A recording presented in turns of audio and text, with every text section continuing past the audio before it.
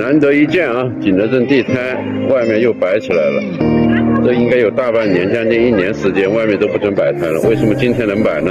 因为今天是个特殊的日子啊！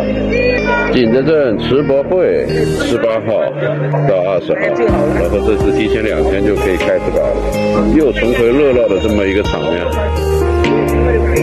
希望今天能够买多一点啊！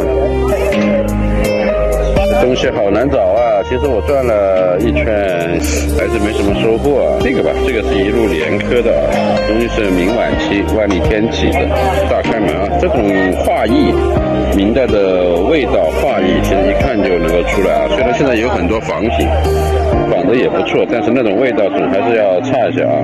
就这个品质还不错吧，但是它是有点小变形的啊。老板要价不低呀。所以这个东西我们先看看啊，然后我们又看见一件东西，来给大家一起看一下啊。这种镂空的果盘啊，中期就有，然后再晚清都有。为什么给大家看这一件呢？首先它画的很细啊，有没有看到？这个点缀的，而且点缀的金鱼，这种非常特别啊。比较精致的这种点缀边饰，一般都是早期一点的啊，这个不是光绪的，一般都是偏同治、咸丰的一个品种，所以它这个还不错啊。问问他了，多少钱能卖我了？他昨天还发图给我，让让我来看，他说到了，他说是刚到的。这个是老板刚到了一批货，昨天就给我发了图让我看一看，啊，所以有什么好东西，别人也会第一时间想到我们，因为我们心目中这种东西它属于什么等级呢？首先开门啊，第二个呢比较漂亮，是吧？没有问题吧？第三个呢还比较少见，就我说的这种画金鱼的啊，金鱼满堂的，而且这中间呢是一个合莲图的啊，鱼没有画在这个水里面，有没很有意趣，至少是二点五等级的东西。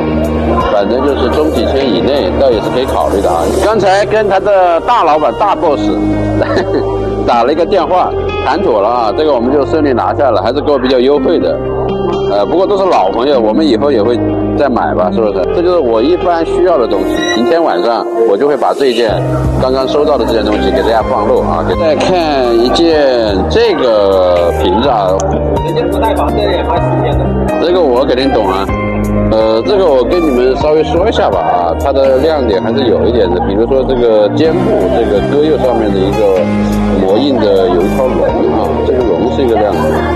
当然它本身也是一个双色屏啊，这个的时间还偏中期，呃，也是带刻工的。然后就像老板说的，这两边的环呢也是有点小亮点啊，带活环的，确实还比较少啊，这种确实还是可以买的一个品种。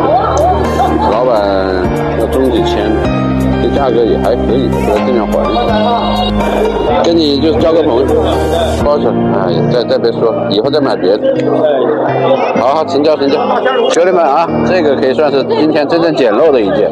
虽然刚才我们也买了几件啊，大家看到了，但是呢，这个质量要更高啊。你看这个坐像啊，是一个和尚僧人，然后手拿木鱼敲着木鱼的一个造型啊，这种非常少见，民国的一个人物雕塑的精品，这种比那个弥勒佛。要少见的多啊！大家一定要远看，远看呢，它的神神态韵味就更加的清楚啊，更加的明白。他的手上敲着木鱼很有意思啊，其他也没什么毛病，大开门的啊。这种东西应该在当时也都是一些名家作品，好吧？这件我们也就成功拿下啊，那你帮我包一下呗。老康的盘盘，而且是青花矾红啊，青花矾红，啊，这种东西性价比合适，我们就就拿着啊，也还是不错的一个品种。我们都会在明天晚上给大家来放漏，大家想拿好货的，明天来捡漏。